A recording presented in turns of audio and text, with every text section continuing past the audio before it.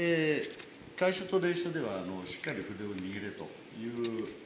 ことを言ったんですが業種の場合はあのなんていうんですかねこうぐっと握ったりふわっと抜いたりというあの動作の連続が必要になりますね。行行書とか草書ですね。で墨をつけた時はある程度軽く書きます。にじみでボリュームが出ますからね。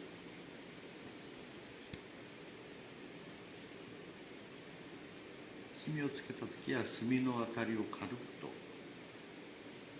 思ってください。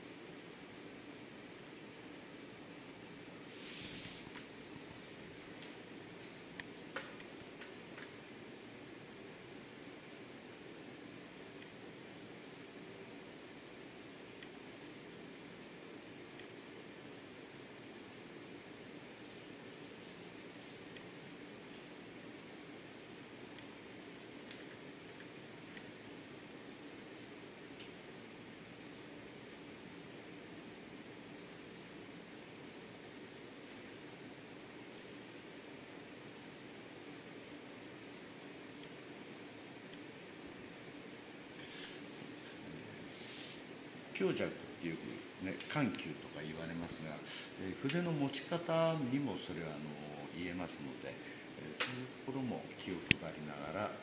えー、練習してみてください。はい、えー、では総称ですが、えー、まあ業種もそうなんですが総称も少し墨は多めに、えー、つけましょう。で、えー、墨を最初置くときはえー、軽く墨を線の上に置くようなつもりですね。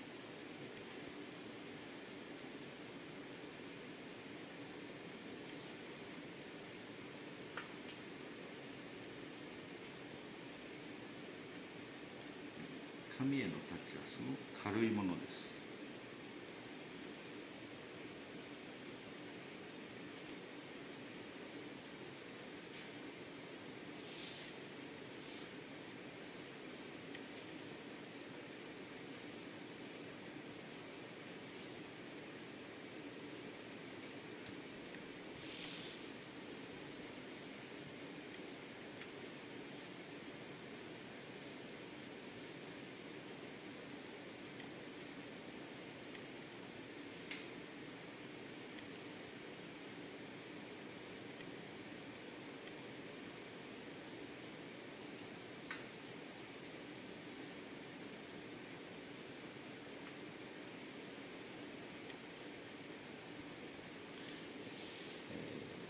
まあ、今ちょっと極端に書きましたけど